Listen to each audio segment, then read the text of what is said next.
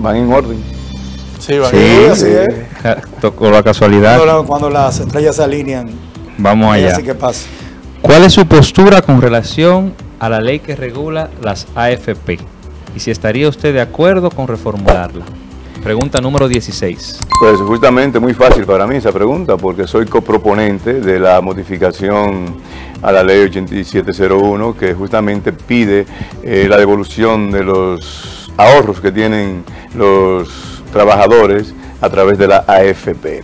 Nosotros entendemos que a través de esta pandemia que está viviendo el mundo y principalmente nuestro país, pues hay otra pandemia, que es la pandemia económica, y una persona ahorra para tener una calidad de vida cuando tiene su retiro, que es el espíritu de la AFP, que toda persona que trabaja tenga una calidad de vida cuando ya se retire.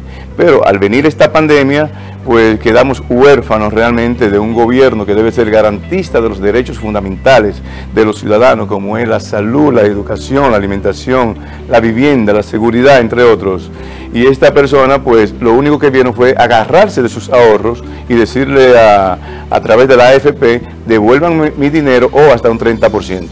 Pues nosotros no solamente sometimos ese proyecto con el proponente Pedro Botello, en cual nosotros somos coproponentes, sino que también solicitamos la modificación a, a la dicha ley para que ya más adelante nosotros podamos tener un acceso, pero no solamente un acceso, sino una transparencia.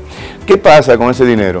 Ha habido muchas denuncias, irregularidades de ese dinero que tienen las aseguradoras y no ha habido nada eh, claro respecto a ese dinero. Según la ley bancaria, el 30% de todo dinero que se deposita en los bancos tiene que quedarse en canje. Por eso nosotros sometimos que sea una devolución de hasta un 30% de los, del dinero del ahorrante, que puede ser un 10%, un 5%.